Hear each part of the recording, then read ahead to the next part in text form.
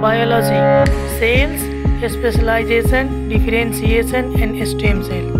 Cells differentiate means change to become specialized for a specific job.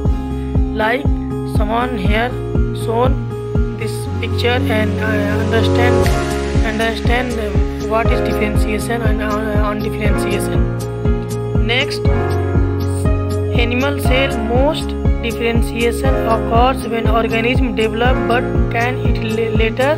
Like we used for repair and replacement of cells.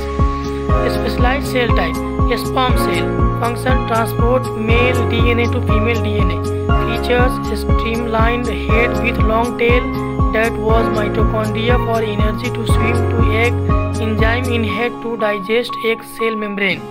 Nerve cell function carry electrical signal to parts of the body. Features long and branch to connect to other nerve cell network. Muscle cell function to contract quickly. Feature long contain lots of mitochondria to generate energy.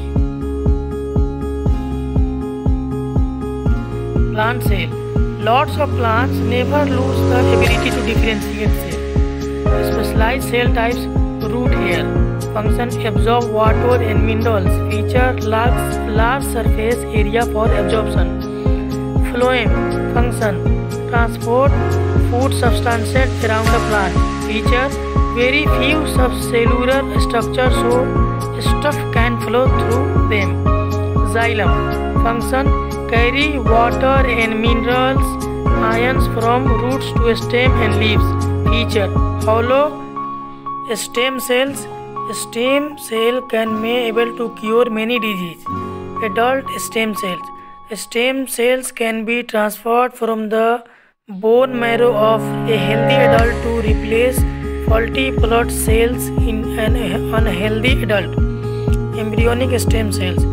These could be used to replace any faulty cells in sick patients.